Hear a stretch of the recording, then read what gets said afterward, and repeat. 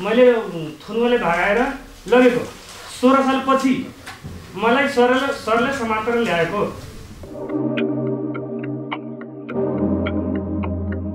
लागु औषध नियन्त्रण कानुन कार्यान्वयन इकाइ न्यायवानेश्वरबाट पक्राउ भई। लागु औषध खैरो हेरोइन मुद्दाको अनुसन्धानको क्रममा हाम्रो महानगरीय प्रहरी परिसर तत्कालीन काठमाडौँको हिरासत कक्षमा रहेका प्रतिवादी यो भारतको अशरफ आलम भन्ने व्यक्तिलाई दुई हजार चौसठी दुई महिना नौ गते राति राति अन्दाजी बिस तिस बजे यो हाम्रो प्रहरी जवान जिल्ला रौतहट पथरा बुधराम वडा नम्बर तिन घर भएका कार्यरतै हाम्रो महानगरीय परिसर परिसर काठमाडौँमा रहेका यी प्रहरी जवानले चाहिँ नि फिल्ड अफसरको हाम्रो इन्सपेक्टर साहबको नक्कली चिट बनाई। त्यहाँबाट आफैले कृत्य सिग्नेचर गरेर त्यहाँबाट भगाइ चाहिँ नि फरार रहेको अवस्थामा हाम्रो चाहिँ नि प्रहरी टोलीले यो झापा प्रहरीको समन्वयमा झापाको कागड भिट्टाबाट पक्राउ गरेर ल्याएको छ। त्यो सम्बन्धमा हो।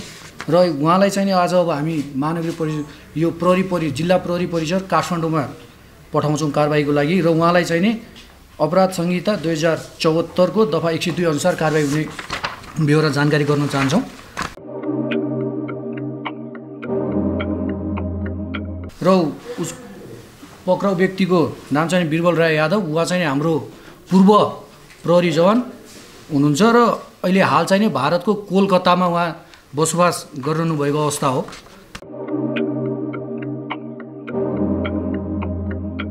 अनि अनुसन्धानबाट विभिन्न कुराहरू खुल्न आएको छ त्यसको संक्षिप्त जानकारी यस प्रकार छ। तत्कालीन समयमा फर्स्टमा उहाँले चाहिँ नि ऊ अशरफ आलमसँग एक करोडको डिल भएको अवस्था हो। त्यसपछि त्यो डिल घट्दै जाँदा दस लाख दस लाख रुपियाँ चाहिँ दिने भन्ने सहमति भएको र उसले चाहिँ इन्डिया गइसकेपछि छ लाख पच्चिस हजार मात्र रुपियाँ पाएको अवस्था छ।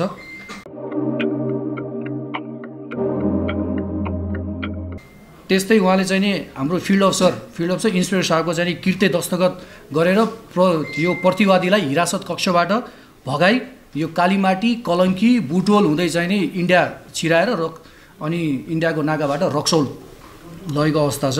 र त्यो जुन रकम पायो छ लाख पच्चिस हजार यो भगाए बापत त्यसको चाहिँ नि दुईवटा ट्याक्सी कलकत्तामै गएर दुईवटा ट्याक्सी फर्स्टमा खरिद गरेको छ र त्यो दुईवटा ट्याक्सीलाई चाहिँ नि हाल चाहिँ नि नौवटा ट्याक्सी आफ्नै नाममा बनाएको बनाएको अवस्था छ र त्यही ट्याक्सी चलाउँदै त्यहाँबाट जीविका जीविकोपार्जन गरेको अवस्था हो।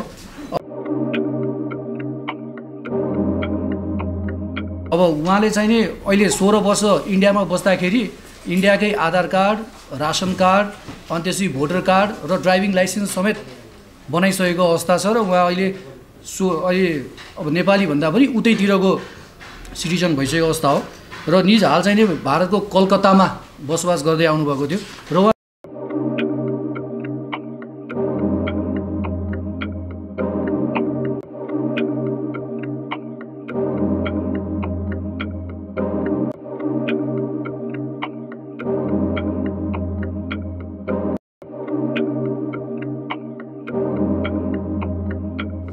अबदेखि यहाँ नेपाल पुलिस छोड्दैन। जहाँदेखि ल्याउन सक्छ। त्यसले गर्दा कसैले त्यस्तो काम गर्ने हुन्न।